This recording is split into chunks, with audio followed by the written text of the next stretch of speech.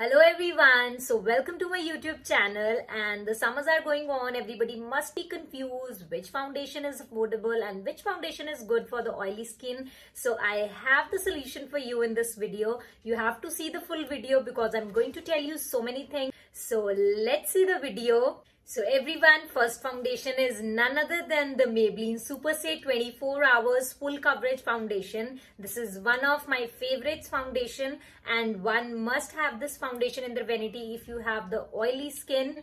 Very affordable foundation. It costs rupees like 750 and you can get it from Nykaa, from Myntra and from Amazon. You can get it. My shade in this foundation is 120 Classic Ivory. So the next foundation I'm going to suggest to you is the Milani Conceal Plus Perfect 2-in-1 foundation. And this is also a very good foundation for the oily skin. If your budget is like more than 1000 you one must invest in this foundation. I'm personally using this foundation on my clients as well. And this is a very, very good foundation. It comes in the range of 1400 or 1200. Sometime when the sale is going on, you can get it in 1200 as well. And you will get it from the Nykaa very easily.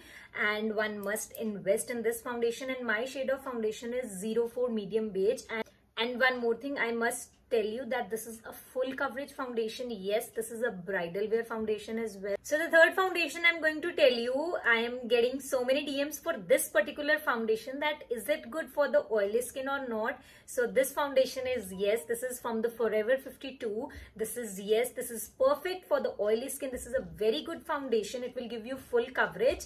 And it also comes in the range of uh, 1200 and 1000 and my shade is not correct. I have got the wrong shade of this foundation. So i'm mixing it with any other foundation which is darker in shade. And the stay of this foundation is too good.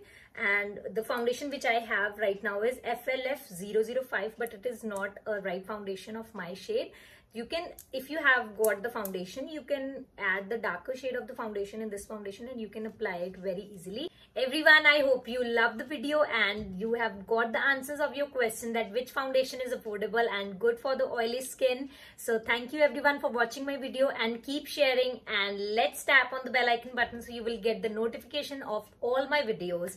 Thank you everyone